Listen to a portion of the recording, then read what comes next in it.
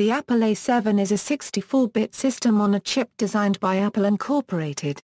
It first appeared in the iPhone 5s, which was introduced on September 10, 2013. Apple states that it is up to twice as fast and has up to twice the graphics power compared to its predecessor, the Apple A6. While not the first 64-bit ARM CPU, it is the first to ship in a consumer smartphone or tablet computer. Design The A7 features an Apple-designed 64-bit 1.3 a Euro 1.4 a GHz ARM V8A dual-core CPU, called Cyclone. The ARM V8A instruction set doubles the number of registers of the A7 compared to the ARM V7 used in A6.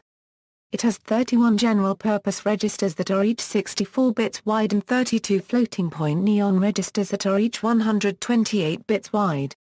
The A7 also integrates a graphics processing unit which AnandTech believes to be a PowerVR G6430 in a 4-cluster configuration.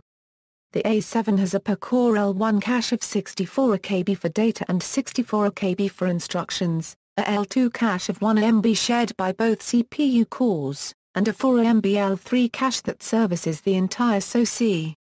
The A7 includes a new image processor, a feature originally introduced in the A5, used for functionality related to the camera such as image stabilizing, color correction and light balance.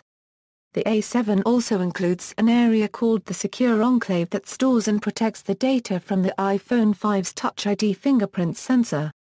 The security of the data in the secure enclave is probably enforced by ARM's TrustZone SecurCore technology.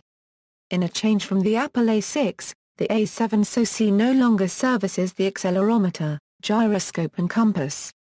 In order to reduce power consumption, this functionality has been moved to the new Apple M7 Motion coprocessor which appears to be a separate ARM-based microcontroller from NXP Semiconductors.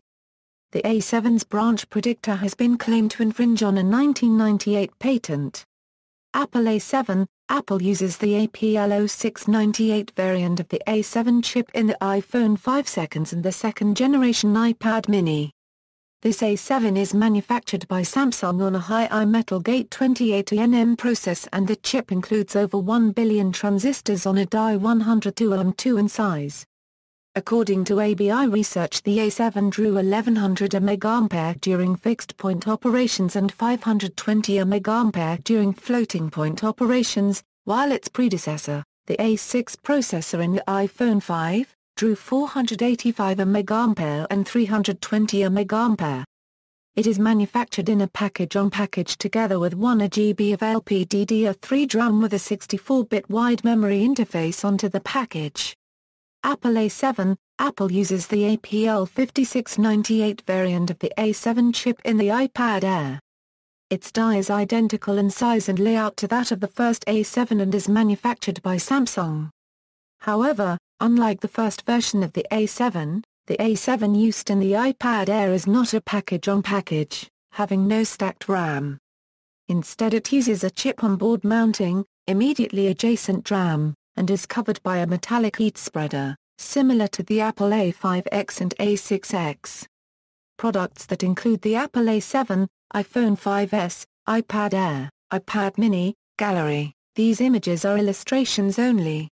See also, Apple System on Chips, the series of ARM-based system-on-a-chip processors designed by Apple for their consumer electronic devices. Comparison of ARM v8A cores, references